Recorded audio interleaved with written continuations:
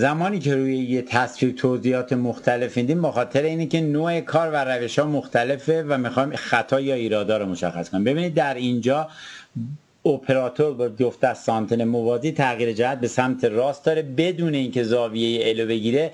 یا بخواد زیلی رو تشکیل بده یه حرکت مستقیم به سمت جلو می‌کنه که بره حالت قیچی یا زبده رو بگیره. خب این عمل می‌تونه اشتباه باشه. چرا؟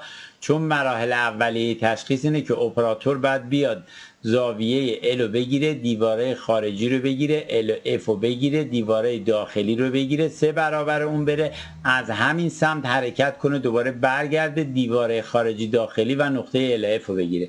نقطه L F نقطه که آنتن در تمام ازلا می‌تونه حالت پاندول بگیره.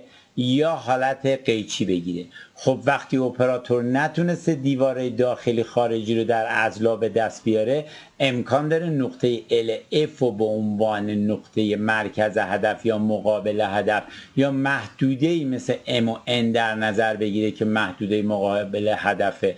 پس این نوع روش ها روش های خطایی اپراتور ابتدا بعد زیل ها رو به دست بیاره دیوارهای داخلی خارجی رو به دست بیاره نقطه LF رو به دست بیاره چون اگر نقطه LF درست مشخص نشه و دیوارهای داخلی خارجی امکان داره اپراتور این محدوده رو به عنوان مرکز هدف اشتباها تشخیص بده.